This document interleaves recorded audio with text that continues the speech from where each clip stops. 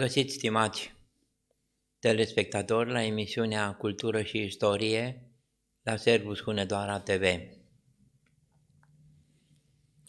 Trebuie să încep cu un moment trist această emisiune, să mă refer la faptul că Preasfințitul Gurie, episcopul Devei și Hunedoarei, a trecut la cele veșnice. Desigur, la momentul emisiunii noastre în spațiul public este bine cunoscută această știre. Eu trebuie să îmi exprim regretul și profunda durere pentru ceea ce s-a întâmplat.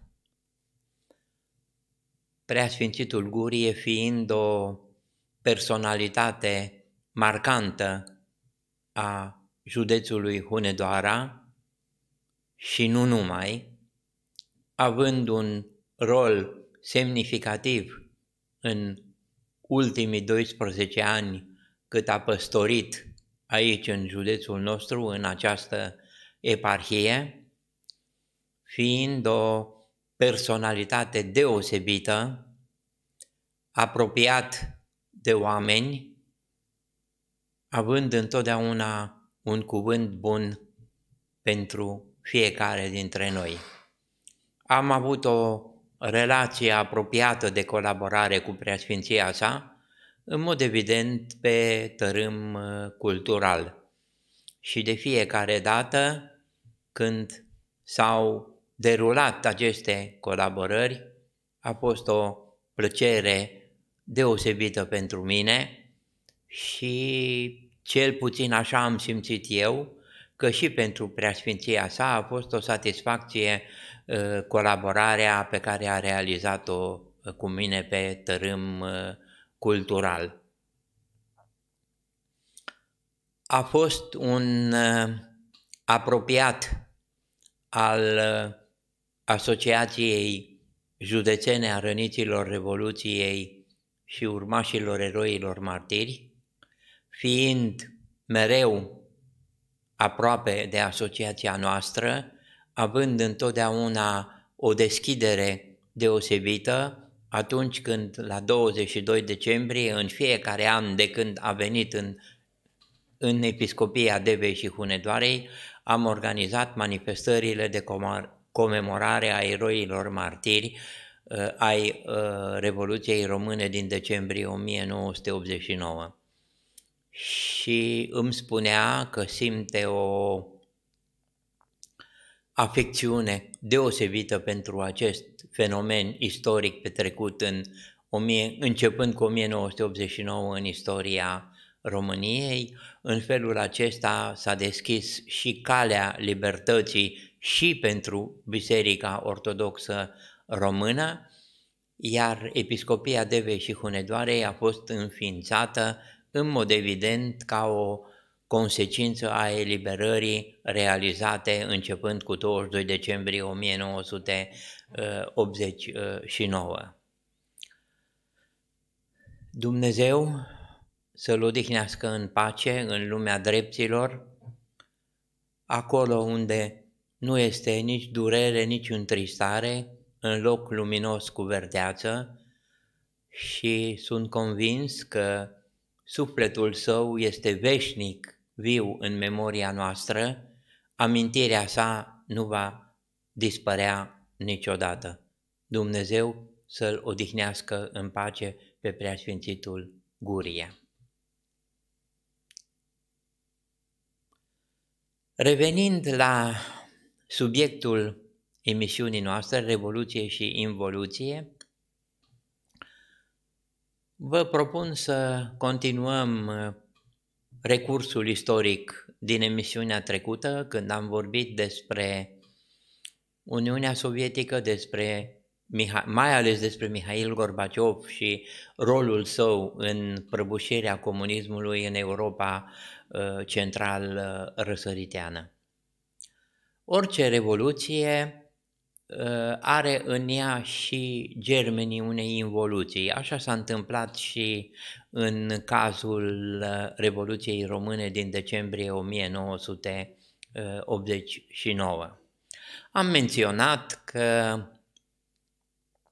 Mihail Sergeevich Gorbaciov, conducătorul uh, Uniunii Sovietice, chiar începând cu anul 1985, deci anul în care el de fapt a și preluat conducerea uh, colosului comunist din uh, Eurasia, i-a atras atenția lui Nicolae Ceaușescu asupra faptului că sunt necesare o serie de schimbări, o serie de transformări în societate, mai ales în Europa Central-Răsăriteană, deci în lumea comunistă, în acele țări care în anul 1945 deveniseră state satelit ale uh, Uniunii uh, Sovietice.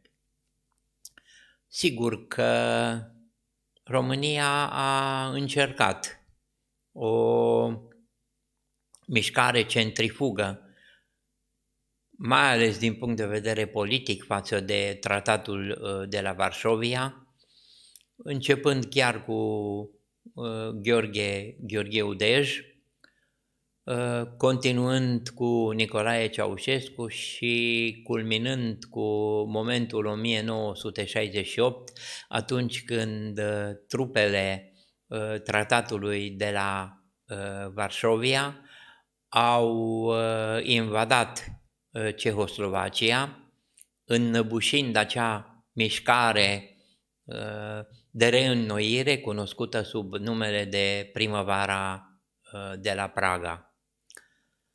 Sigur că momentul culminant pentru Nicolae Ceaușescu, din punct de vedere politic, l-a constituit celebrul său discurs din balconul Comitetului Central Uh, al Partidului uh, Comunist Român, al sediului Comitetului Central al Partidului Comunist uh, Român, discurs prin care a prezentat un punct de vedere diferit al țării noastre, din fericire diferit al țării noastre, față de ceea ce uh, au realizat uh, trupele tratatului de la Varsovia și țările care au uh, dat aceste contingente uh, invadatoare ale uh, Cehoslovaciei. Dar, în mod evident, uh, Nicolae Ceaușescu s-a oprit la acel moment 1968 Ă, nu a mai continuat și, din păcate, ă, el a devenit un ă, uriaș paradox în contextul geopoliticii anilor respectivi. În contextul raporturilor dintre Occident și Europa Central-Răsăriteană comunistă, în uh, contextul uh, așa numitului uh, război rece, care a mai avut și scurte perioade de încălzire. Vă rog să puneți ghilimelele de rigoare la acele aprecieri pe care le fac referitor la aceste uh, raporturi, la acele cuvinte care au nevoie de ghilimele pentru că ele sunt uh, pronunțate în sens uh, figurat. Am spus că Nicolae Ceaușescu a fost un uh, paradox. Dacă în plan internațional a promovat, chiar începând cu anul 1965, o politică de independență, de uh, oarecare delimitare uh, față de uh, celebra doctrină Brejnev care menționa că statele Europei Central Răsăritene, membre ale Tratatului de la Varșovia, trebuie să se bucure de o anumită suveranitate uh, limitată. Cu acest concept, pe bună dreptate, uh, Nicolae Ceaușescu nu a fost de acord și, în mod evident, uh, considerăm că uh, toate acestea au reprezentat uh, un punct pozitiv în uh, activitatea uh, lui pe scena politică uh, internațională. A avut un rol important până la un punct și în Orientul apropiat, în tratativele de pace între lumea arabă și Israel, contribuind la începerea și derularea unui important dialog între uh, arabi uh, și uh, evrei, încercând o reconciliere a oamenilor în această parte importantă uh, a uh, lumii. Sigur că eforturile sale au fost uh, încununate de succes până la o anumită Uh, limită. Punctul culminant reprezentându-l celebra uh, vizită a uh, președintelui egiptean Anwar el-Sadat în uh, Israel, prezența acestuia în Knesset, Parlamentul Israelian, cuvântarea pe care acesta a uh, rostit-o și care la momentul respectiv părea că va aduce o oază de liniște și de înțelegere între uh, cele două părți în acest uh, conflict. Din nefericire nu s-a întâmplat așa, au mai existat acordurile de la uh, Camp David uh, care au dus la o îmbunătățire substanțială a raporturilor arabo-israeliene, unde iarăși Nicolae Ceaușescu a avut un rol uh, semnificativ. În istorie trebuie menționate când ne referim la evenimente sau la personalități și faptele pozitive, dar în același timp uh, uh, și faptele negative. Este bine știut că în planul politicii uh, interne, Nicolae Ceaușescu a fost un neostalinist desăvârșit, putem să spunem. Din toate punctele de vedere, în plan economic, în plan politic, în plan uh, cultural. Dacă Stalin a dus pe culmi învățăturile lui Lenin cu privire la planificarea în uh, economie, Nicolae Ceaușescu a depășit aceste culmi. A fost, ca să folosesc o expresie uzuală, mai catolic decât papa. A fost mai stalinist decât însuși Stalin. Uh, o minimă libertate în perioada 1967, 1971, 1972 a existat în economie, inițiativa particulară fiind uh, pentru scurt timp uh, încurajată. După aceea, planificarea, uh, producția planificată, procesul de vânzare-cumpărare al mărfurilor, totul trebuia să se desfășoare uh, în mod planificat, practic anihilând orice urmă de uh, concurență. Ori istoria ne demonstrează pe bună dreptate că economia, indiferent uh, de perioada în care de perioada despre care uh, vorbim, uh, a trebuit să suporte o libertate uh, concurențială. În uh, mai mică măsură în perioadele vechi ale istoriei sau în uh, evul uh, mediu. Permiteți-mi acum să dăm din nou cezarului ce al cezarului și lui Dumnezeu ce al lui Dumnezeu, cezarul în acest context fiind uh, publicitatea și în mod evident după aceea vom reveni cu subiectul emisiunii noastre. Pentru că resursele planetei sunt limitate, reciclarea rămâne singura cale prin care le putem face inepuizabile pentru trecerea la economie circulară. Dar reciclarea eficientă este posibilă doar printr-o colectare separată, susținută și inteligentă a deșeurilor. Din grijă pentru mediu și respect pentru generațiile viitoare, implică-te alături de noi, pentru un prezent curat și un viitor sănătos. Braicata. Din respect pentru resurse.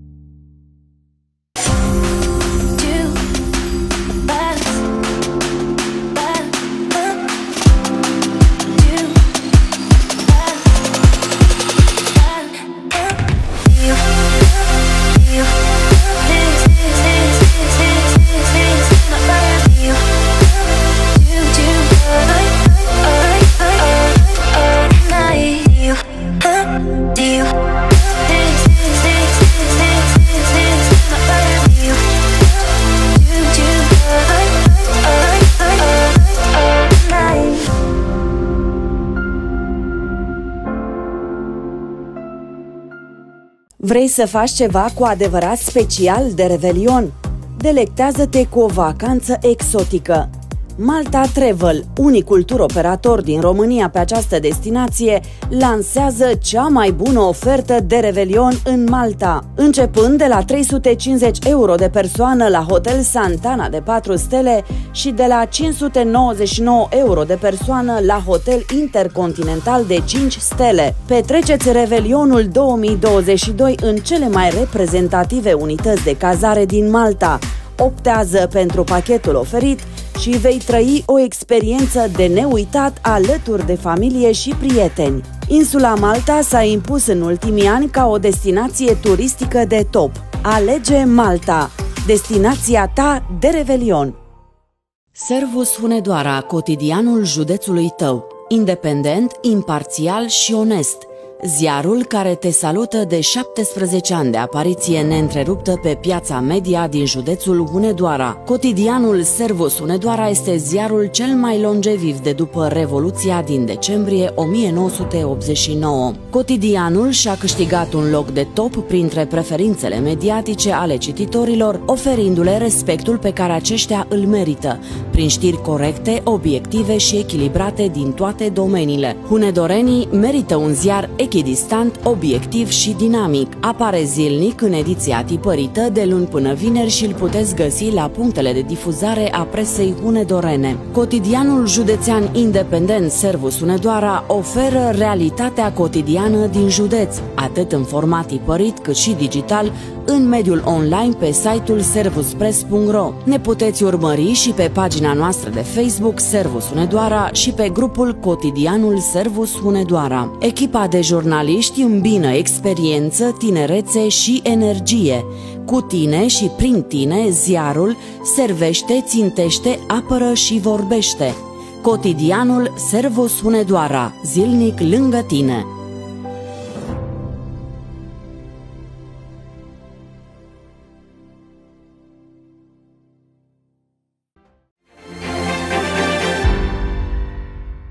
Incinta 1 a cetății Deva intră în reabilitare pe fonduri europene. În urmă cu câteva zile s-a predat constructorului amplasamentul pentru realizarea obiectivului de investiții, reabilitarea zonei urbane dealul cetății Deva, monument al naturii și istoric cu valoare turistică ridicată din municipiul Deva, refuncționalizarea incintei 1. Săptămâna trecută a fost semnat contractul și s-a dat ordinul de începere a lucrărilor. Valoarea totală a contractului este de 15.739.836,97 lei fără TVA. Obiectivele specifice ale proiectului sunt refuncționalizarea incintei 1 a ansamblului monument istoric Cetatea Devei, creșterea vizibilității obiectivului de patrimoniu prin realizarea materialelor de promovare a incintei 1 și digitizare. Durata de execuție a lucrărilor la incinta 1 a cetății Deva este de 24 de luni. De asemenea, va exista și o perioadă de garanție a lucrărilor de 5 ani, a declarat primarul municipiului Deva, Florin Nicolae Oancea, pe pagina de Facebook a primăriei municipiului Deva.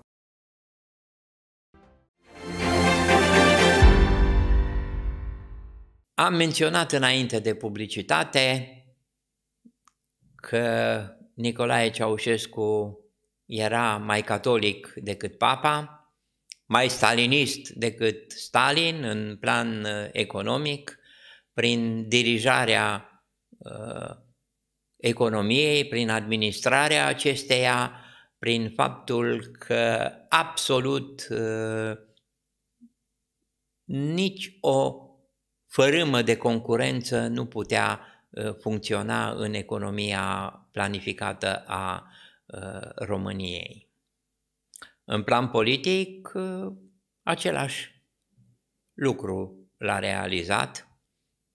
Evident că deja din 1945 au fost preluate preceptele leniniste în care pluripartidismul nu avea voie să uh, funcționeze. Uh, Partidul Comunist devine partid unic și în același timp uh, forță conducătoare, forța conducătoare a societății și libertatea opiniilor nu se putea manifesta aproape deloc ă, sau opiniile trebuiau să fie în concordanță cu ă, programul Partidului Comunist de ă, realizări, de realizare a bunăstării socialiste în fiecare țară. Și în România a existat un astfel de program programul Partidului Comunist Român de realizare a societății socialiste multilateral dezvoltate și înaintarea României spre uh, comunism, care s-a referit la toate uh, domeniile vieții publice, la economie, la politică, la cultură, la învățământ uh, și așa mai departe, chiar și la mișcarea sportivă.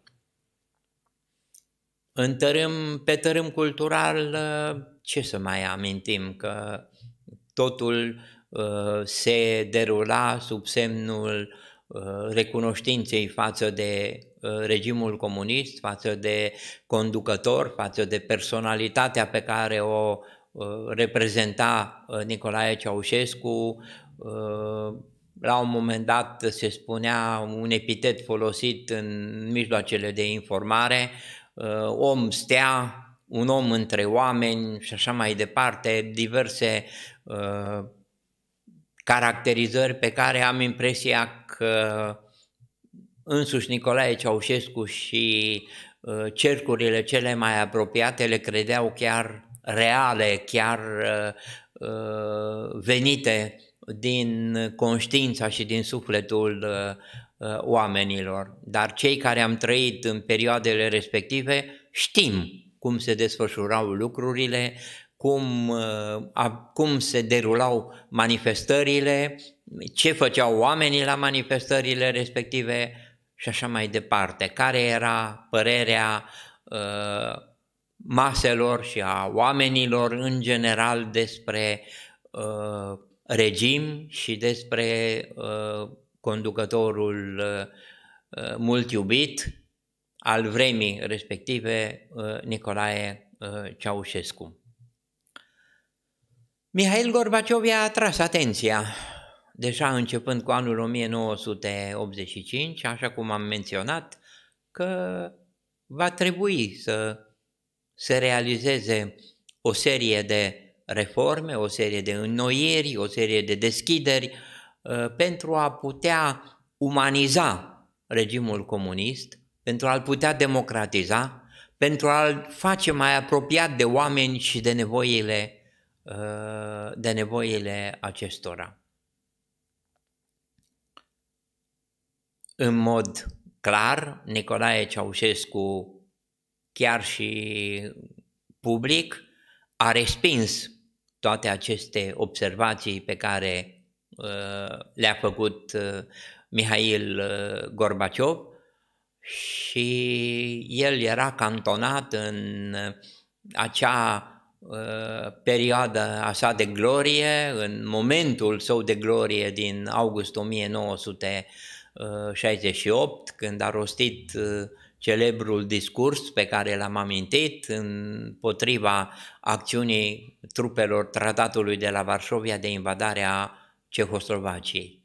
Dar realitatea geopolitică internațională, cât și realitatea politicii interne românești, a realității românești din societatea noastră, era cu totul și cu totul alta decât fusese atunci în 1968, când să menționăm că din punct de vedere economic era o relativă uh, bunăstare, în, oamenii în magazine mai găseau uh, produsele de primă necesitate pentru a avea un nivel de trai uh, cât de cât uh, satisfăcător. Pentru că după 1980 uh, să se schimbe totul în mod uh, radical. În uh, cartea sa Un risc asumat, colonelul Filip uh, Teodorescu, unul din uh, conducătorii contraspionajului românesc din anii regimului comunist, din ultimii ani de existență a regimului comunist, menționează că Nicolae Ceaușescu era tot timpul informat despre ceea ce se întâmplă în țară, despre ceea ce se întâmplă în lume, uh, îi se propuneau diverse uh, soluții, dar spune Filip Teodorescu uh, că Nicolae Ceaușescu nu accepta decât în mică măsură propunerile care veneau de undeva din rândul specialiștilor, din rândul oamenilor care lucrau efectiv la Uh, problemele uh, respective. Îl învinovățește pe Nicolae Ceaușescu sau, mă rog, e un reproș că Nicolae Ceaușescu uh, nu ar fi fost de acord să se ia măsuri mai drastice împotriva pastorului Laslo Tökeș la Timișoara, pe care Filip Teodorescu îl caracterizează drept un spion Uh, maghiar, un om al serviciilor de informații uh, maghiare. Nu știu dacă a avut sau n-a avut uh, dreptate în acest context, pentru că nu am văzut documentele, deci nu, nu îl contrazic în acest sens, dar vreau să spun că Revoluția Română din decembrie 1989, în opinia mea, ca om care am luat parte la acest eveniment deosebit de important în uh, viața publică din România, cât și prin faptul că din perspectivă istorică am cercetat uh, fenomenul la nivelul documentelor, la literaturii de specialitate publicate, eu rămân la opinia că Revoluția Română din decembrie 1989 a reprezentat mult mai mult decât mișcarea pe care a început-o uh, pastorul Laszlo Tökeș uh, în Timișoara în 14 uh, decembrie 1989, de la data respectivă în mod public, dar poate că el a început undeva un pic mai uh, repede uh, să își manifeste opoziția față de uh, regimul uh, comunist. Revoluția română din decembrie 1989 a fost uh, mult mai mult decât un protest pe care oricine l-ar fi organizat, un simplu protest pe care oricine uh, l-ar fi uh, organizat. Sigur, poate că domnul colonel Filip Teodorescu are dreptate că Nicolae Ceaușescu atunci nu a înțeles fenomenul în deplinătatea uh, dimensiunilor sale, că aprecierea colonelului Filip Teodorescu, în opinia mea, confirmă uh, discuția pe care a avut-o Nicolae Ceaușescu cu Mihail Sergeevici Gorbaciov, care în, într-o anumită măsură îi atrăgea atenția lui Nicolae Ceaușescu și el că ceva trebuie făcut, că între măsurile pe care le propunea Mihail Gorbaciov și atenționările pe care le primea Nicolae Ceaușescu uh, de la serviciile de informații românești era o diferență ca de la cer la pământ, asta este altceva. Dar fiecare dintre ei au spus că ceva trebuie uh, făcut pentru a putea uh, perpetua regimul comunist în România. Iar Mihail Gorbaciov, în mod evident, se referea la întreaga Europa central-răsăriteană. Ei, în acest context, eu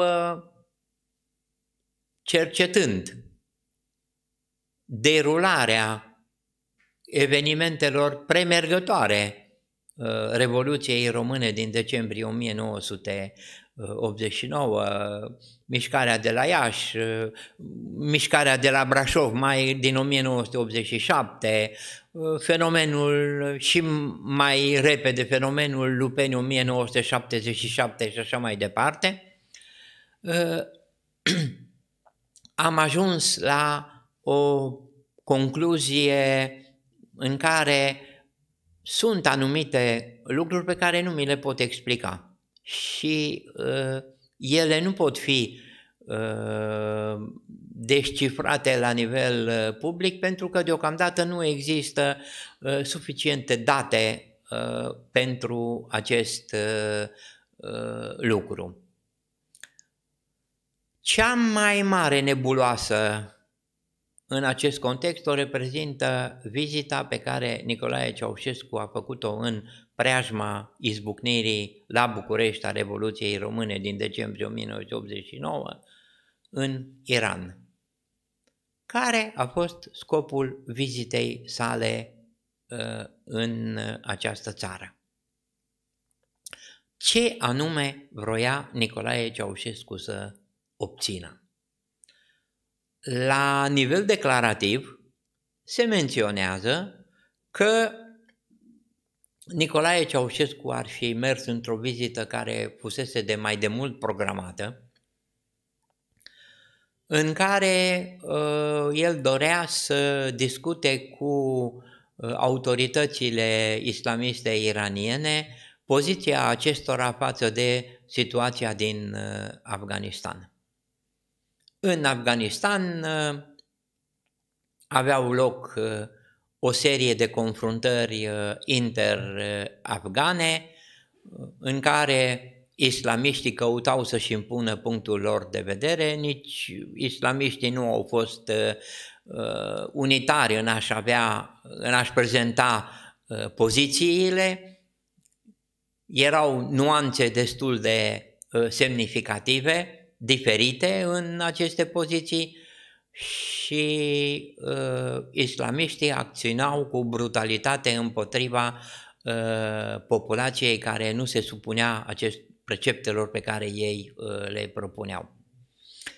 Deci, uh, în spațiul public, despre asta se vorbește, că Nicolae Ceaușescu dorea să uh, apere uh, poporul afgan de anumite represalii are fundamentaliștilor islamiști. Mie personal mi se pare ceva extraordinar de ciudat.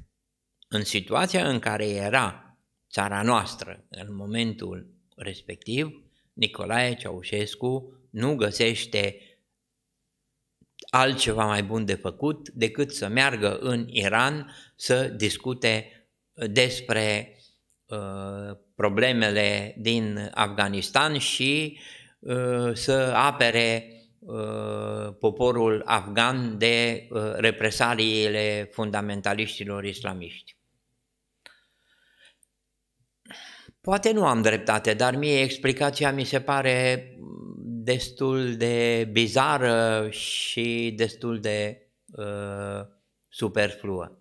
Să fi fost Nicolae Ceaușescu atât de lipsit de simțul realității încât să nu-și dea seama cât de gravă era situația în țara noastră pentru întreaga societate românească, pentru nucleul conducător al României la momentul uh, respectiv?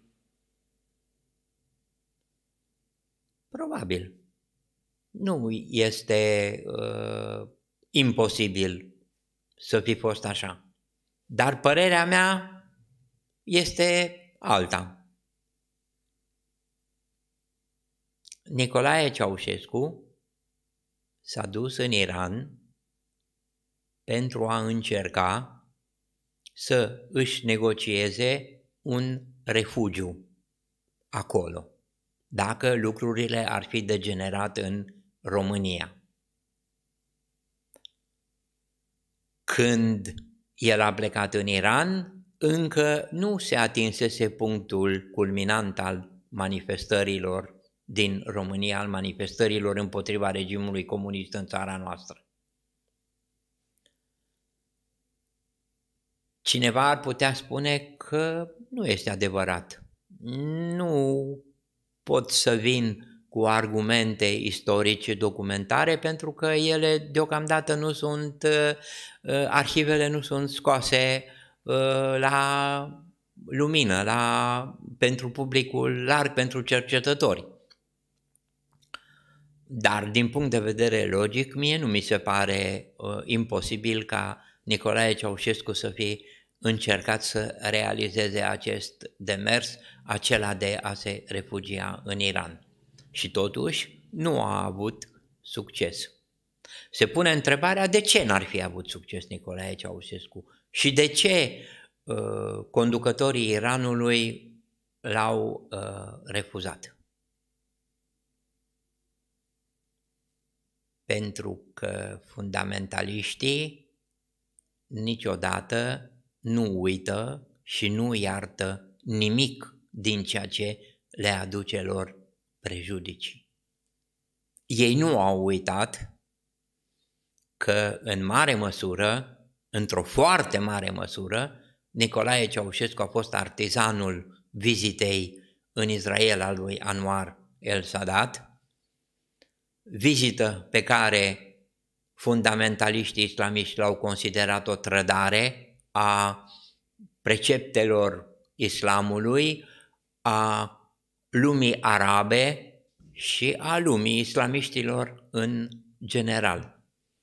Și în felul acesta uh, ei uh, l-au refuzat la modul elegant, atât cât puteau fi eleganți, pe Nicolae uh, Ceaușescu, Uh, probabil amintindu-i de ceea ce s-a întâmplat uh, în perioada în care el gira tratativele între Anwar el-Sadat și uh, Golda Meir la început și după aceea Menahem Begin, premierii, premierii Israelului.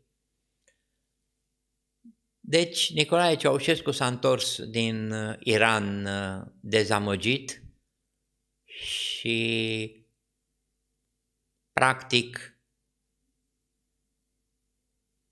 zic eu că a conștientizat că sfârșitul este aproape, fără a putea descifra cum, în ce fel va avea loc acest uh, sfârșit. Eu mă refer aici la un sfârșit uh, politic, atât al uh, lui și al soției sale ca și conducători, cât și al regimului comunist. Sigur că el spera în uh, uh, faptul că populația îl va apăra, va apăra, va apăra în dimineața zilei de 22 decembrie, înainte de a părăsi sediul Comitetului Central, îl trimisese pe Ion Dincă pe marile platforme bucureștene să aducă muncitorii să apere conducerea și cuceririle revoluționare, iar când Ion Dincă s-a întors, Nicolae Ceaușescu l-a întrebat de ce a venit singur, fără muncitori. Și Ion Dincă i-a replicat cu sinceritate, ca să nu spun cu uh, brutalitate, că nu a venit cu muncitorii pentru că dacă aceștia l-ar fi însoțit și veneau cu el, nu ar fi venit câtuși de puțin să apere conducerea uh, de partid și de stat și cuceririle revoluționare, ci ca să determine înrăturarea regimului comunist și a conducătorilor uh, acestuia. Și peste circa două ore de la acest dialog care a avut loc între Nicolae Ceaușescu și Ion Dincă, uh, evident că Nicolae Ceaușescu și Elena Ceaușescu, sub presiunea uh, maselor populare, revoltate, care au pătruns în sediul Comitetului Central, au trebuit să părăsească uh, acest sediu cu elicopterul, eveniment uh, bine uh, cunoscut de uh, cei care avem o anumită vârstă și mai puțin cunoscut de, mai puțin cunoscut de către tineri. Iată că, practic, România s-a înscris în parcursul Europei Central Răsăritene cu revoluția care a avut loc în uh, țara noastră, care s-a derulat și în uh, celelalte țări, în mod evident mult diferit față de ce s-a întâmplat în uh, România. Revoluție, practic, însemnând o schimbare a unui regim economic, social, politic și cultural cu un altul care pornește de la cu totul alte principii decât cele anterioare uh, Revoluției respective.